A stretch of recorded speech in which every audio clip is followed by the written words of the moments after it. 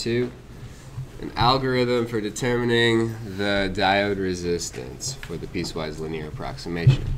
So the piecewise linear approximation uh, uh, of the exponential diode current will never be great, okay?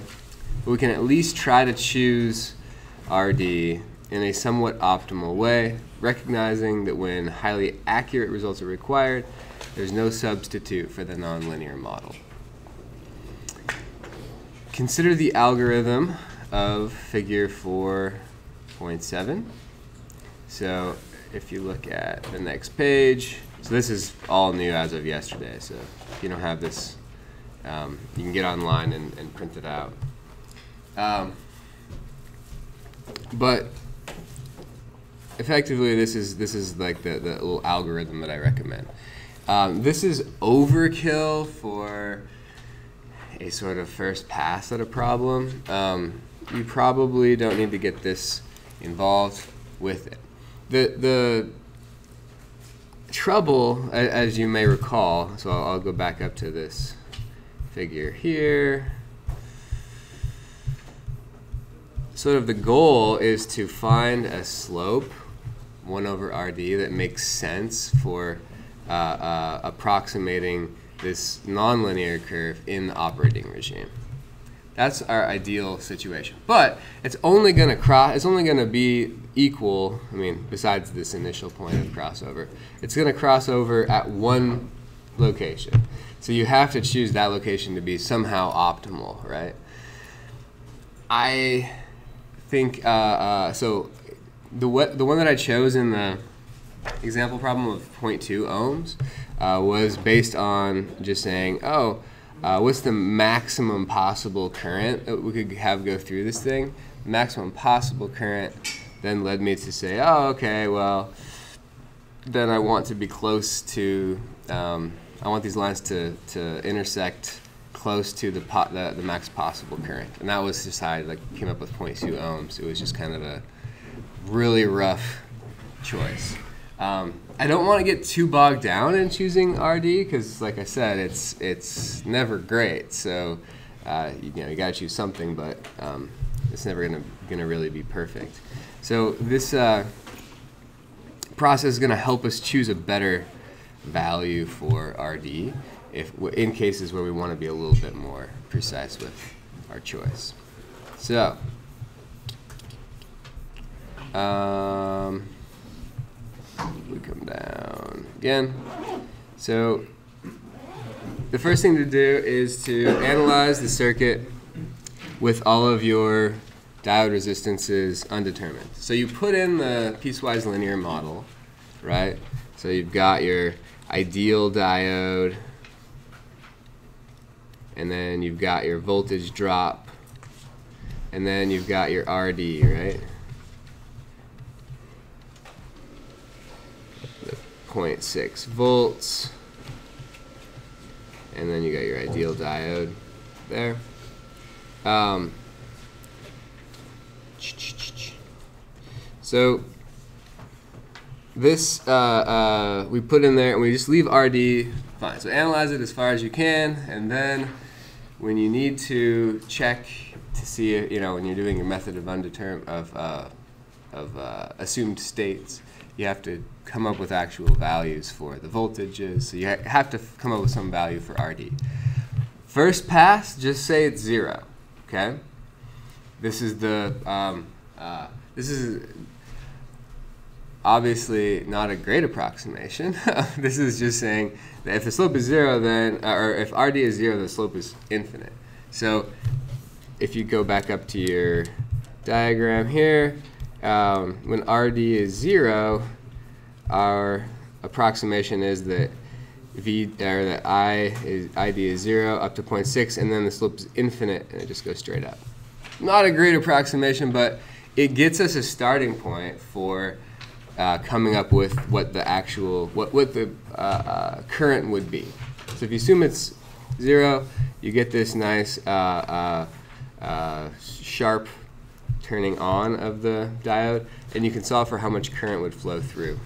And that's going to be the, the sort of the, the max current situation, right? especially for simple circuits. If you have a lot of circuits, then you can get this this sort of uh, thing happening with multiple diodes ch- switching their states. But for the most part, this will give you a good starting point for getting uh, a current um, uh, solving for ID. And that's the next step in the algorithm. We solve for ID. Um, so back down to our algorithm. Solve for ID. So for the current through each diode, and then you uh, uh, have this nonlinear relationship that you're trying to approximate, right? So if we use that nonlinear relationship to find VD, the corresponding voltage that would be across the diode, then um, we're going to have the current and the voltage. The current came from assuming that it was this idealized piecewise linear model. The voltage came from then turning around assuming it was the nonlinear model, which is sort of a bootstrapping method that we have here.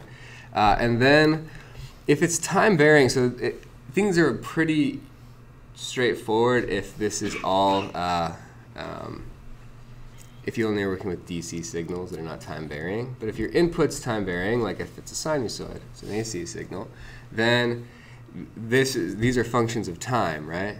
The, the diode voltages are functions of time. So uh, just like in the example we did with the half wave rectifier, uh, if that's the case, you can find the means of the current and the voltage, okay, uh, with a slight caveat that you don't want to count the time interval during which it's off uh, in your in your mean calculation.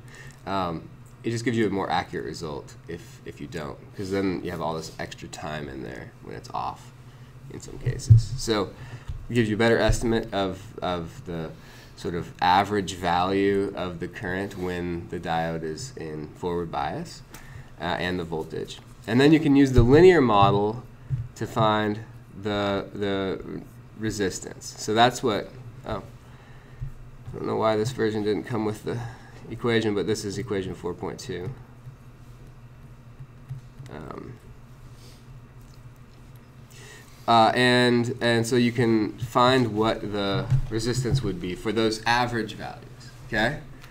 Then you can reanalyze the circuit. So you can go back up. So if you have this value of RD, you can go back and use that. Instead of RD equals 0, which you had last time, you can use RD uh, uh, uh, uh, equal to whatever you got as a result of your analysis and then do this again, iterate on it.